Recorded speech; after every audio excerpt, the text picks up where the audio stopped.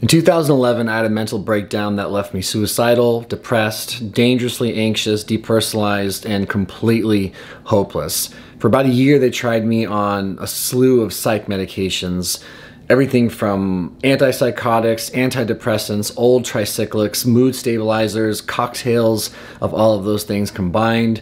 We tried that, and nothing was working. And at one point, I was suggested and informed that there was another option.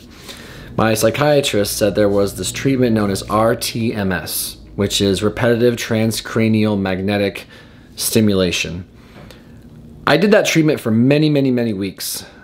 And for whatever reason, I never spoke about the results or my experience doing that treatment on this channel, which has documented my entire mental health journey. That's what we're gonna do in this video.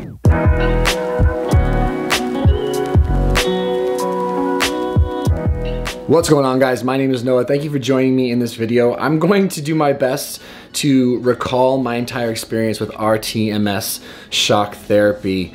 I really am surprised that I've never spoken about it before on this channel. Perhaps one of the main reasons is that I didn't end up having tremendous results from it, but it was a very interesting experience and I at least want to reflect a little bit with you. So like I said in the intro, I was dealing with a massive uh, mental breakdown, mood disorder problem. And after trying a lot of psych meds that didn't work, we were looking for options. RTMS was brought up as a potential treatment option.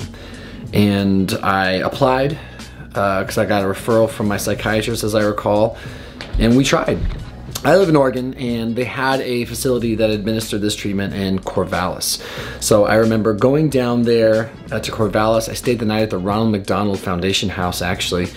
And in the morning, uh, I met with the doctor, I met with the technician who's to be administering this treatment, and I kind of learned a little bit about what I might need to expect. I also filled out a form. Basically, they, they had me answer questions, and I believe it was one of those things where like, uh, rate your depression on a scale of one to five, you know, five being the worst, uh, one being not so bad. And I did that. It was basically to check how I was doing mentally going in to see if perhaps I was going to improve after treatment. RTMS is repetitive transcranial magnetic stimulation.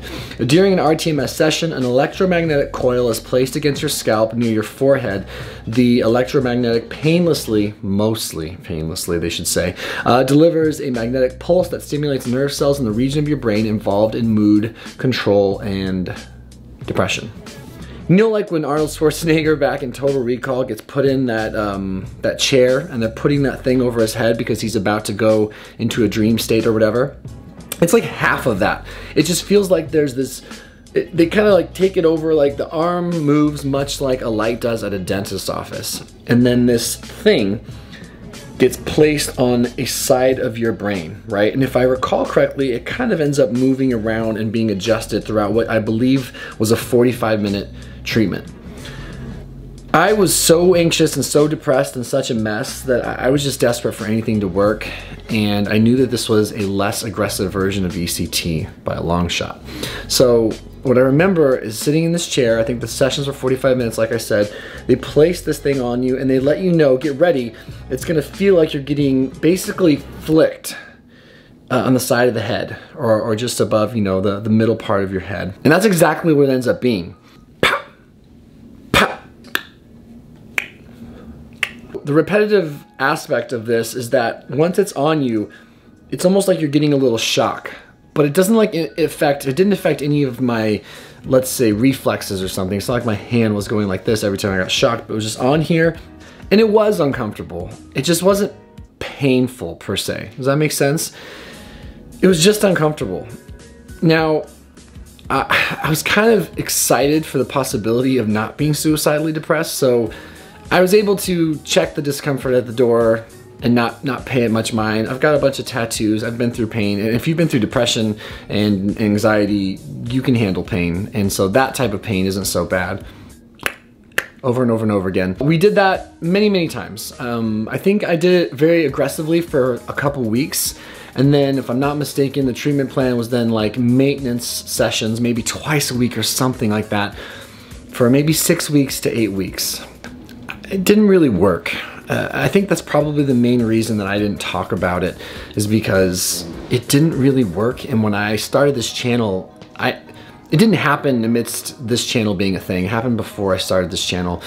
But I remember doing it for those six, eight weeks, having a lot of hope that it was going to, to save me. Um, and then I filled out the form after six to eight weeks of sitting in the damn chair and getting the and it didn't really work and I remember being really discouraged. The only thing I wondered is if perhaps it made my anxiety a little bit worse and I remember feeling a little bit more activated afterwards. But according to the paperwork, I did report that I was feeling a little bit better based on the numbers marginally. So what ended up being my saving grace wasn't RTMS. It wound up being testosterone replacement therapy, as a lot of you know. Uh, I wound up having a bunch of blood work done some time later after we're a year and a half into this treatment-resistant depression, and it turns out I had extraordinarily low testosterone levels. And then we pursued that avenue, and, it, and it's been a tremendous gift in my life to get that adjusted because it, it started leading to my recovery.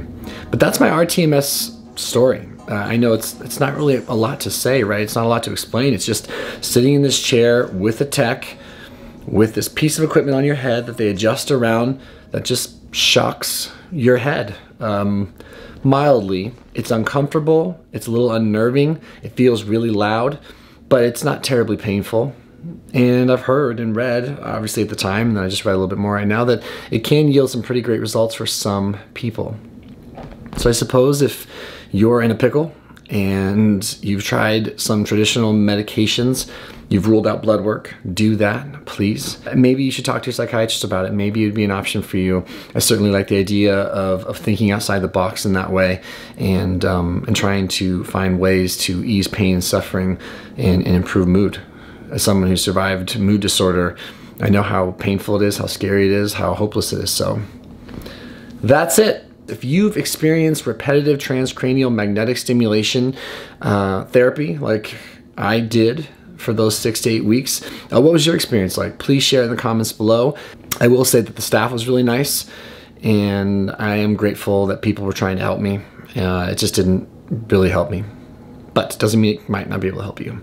That's all I got. My name is Noah. Thank you for being here on my channel. Got a life update coming soon. Got some other content I've been thinking about, but I'm still dealing with um, a stomach issue that's really occupying a lot of my energy and my attention. So I'm trying to just think of other content to make whilst I deal with what I think is an ulcer. Uh, so I'm working through a treatment plan with my doc. But anyway, I appreciate you guys' time. Take care.